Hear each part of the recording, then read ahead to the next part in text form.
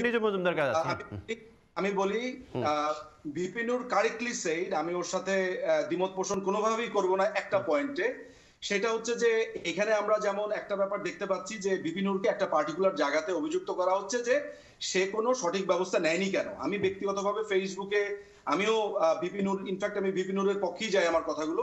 এইটার ব্যাপারে আমি সম্পূর্ণভাবে একমত। আমি কখনো এটার ব্যাপারে দ্বিমত পোষণ করিনি যে বিপিনুরের এক্স্যাক্টলি দায়টা কোন জায়গাতে ছিল। আমি আমার কিন্তু আর্গুমেন্ট আমি যেই জায়গাতে করেছি আপনারা সেটা সমত ধরতে পারছেন না সেটা হলো যে যখন এই অভিযোগটা এসছে তখন সাংগঠনিক ভাবে ডেফিনেটলি একটা ফৌজদারি অপরাধ যেটা অলরেডি এখন আইন শৃঙ্খলা বাহিনী দেখছে ভিপিনুরদের তাদের স্টেপগুলো কি ছিল তাদের পজিশনটা কি ছিল এটা কি আমরা ক্লিয়ার হয়েছে কিনা? নাম্বার ওয়ান এটা ছিল আমার আমার প্রশ্ন।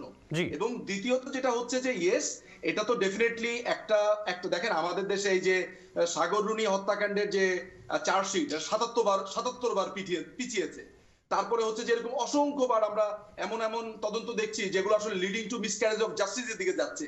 সেগুলো নিয়ে আমারও কথা আছে কিন্তু আমার প্রশ্ন হচ্ছে যে বিপিন বিপিনুরদের যে সংগঠন তারা কি এক্স্যাক্টলি এই পজিশনে এই পুরো ঘটনাটা নিয়ে যার বিরুদ্ধে অভিযোগ এসছে তার ব্যাপারে সাংগঠনিক পদক্ষেপ থেকে শুরু করে তাদের অবস্থান এটা ঠিক তারা কতটুকু ক্লিয়ার করতে পারলেন? নাম্বার ওয়ান নাম্বার টু হচ্ছে যে ডেফিনেটলি তারা এটা বলতে পারেন যে আইন শৃঙ্খলা বাহিনী কেন এটা দিতে দেরি করছে না এটা যে কোনো মানুষই বলতে পারেন যে দেরি হচ্ছে কেন এটা নিয়ে আমার কোনো কথা নেই।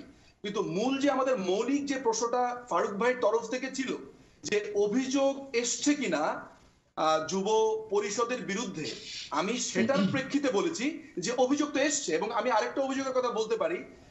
আমার আমার ধারণা যে এটার জবাব বিপিনুর দিবেন, সেটা হচ্ছে যে আমি আক্তার হোসেন নামে ওনাদের যে লিডারটা আছেন তাকে আমি ক্লিয়ারলি দেখেছি যে আমাদের একটা ট্রাফিক লাইট ট্রাফিক সিগন্যাল যেটা আছে সেটার ভিতরে তিনি কোনো পরিকল্পনা নীতি কোনো ধরনের রাজুকের কোনো ধরনের অনুমতি ছাড়া উনি অনেকগুলো ইট দাঁড়া করিয়ে দিয়ে ওনাটাকে সৌধ বানালেন। আমার প্রশ্ন হচ্ছে যে যারা ভবিষ্যতে একটা ক্লিন রাজনীতি করতে চান যারা বলছেন যে বাংলাদেশ একটা কালচার অফ ইম্পিউনিটি হবে যারা বলছেন যে বাংলাদেশে সবকিছু নিয়ম নীতি মেনে চলে চলে যাবে সেই রকম একটা দলের প্রবক্তারা কীভাবে একটা ট্রাফিক সিগন্যালের মধ্যে আটটা আটটা স্তম্ভ বানিয়ে ধুমধাম কিছু স্তম্ভ বানিয়ে বলছে যে এটা একটা স্মৃতিসৌধ বানানো হলো।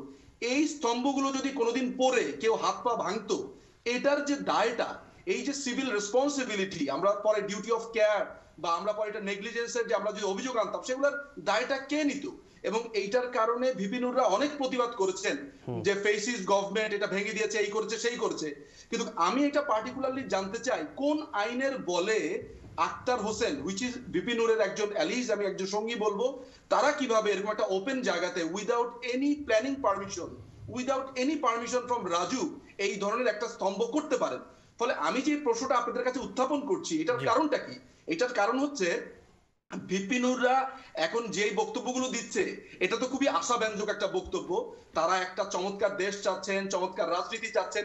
ইনফ্যাক্ট আমাদের যে কোটা বিরোধী আন্দোলনে দিয়ে একটা ভালো ভূমিকা রেখেছেন। ফলে স্বাভাবিকভাবে আমার এক্সপেকটেশনটা কোথায় যায় আমার এক্সপেকটেশনটা দাঁড়ায় যে ওনারা কোনো নিয়ম নীতি কিছু ভাঙবেন না। ফলে ওনারা যখন একটা রাস্তার মধ্যে গিয়ে কোনো অনুমতি ছাড়া একটা স্তম্ভ করে ফেলে সেটার ব্যাপারে তো আমাদের মাথাতে যেটা আসে যে ওনারা যদি কোনোদিন ক্ষমতায় যেতে পারে তাহলে ওনারা এরকম নীতি বহির্ভূত কাজ করবেন। আমি এইটার একটা ক্লিয়ার জবাব চাচ্ছি। এই- বিষয়ে আমি clear নেব।